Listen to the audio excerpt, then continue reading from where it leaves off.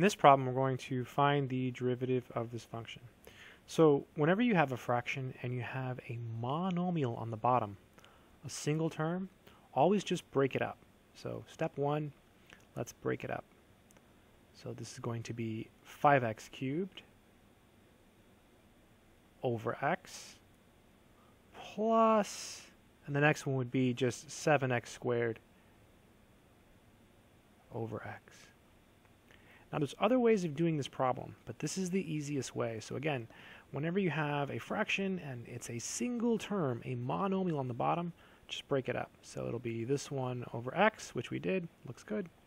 And then this one here, 7x squared over x, which we did, so looks good. Now we can simplify. So f of x is equal to, let's see, so x cubed over x, so we'll lose one copy of x, so we're left with 5x squared plus and then x squared over x is just x, so 7x. And now we can take the derivative. So f prime of x is equal to, so 2 times 5 is 10, using the power rule.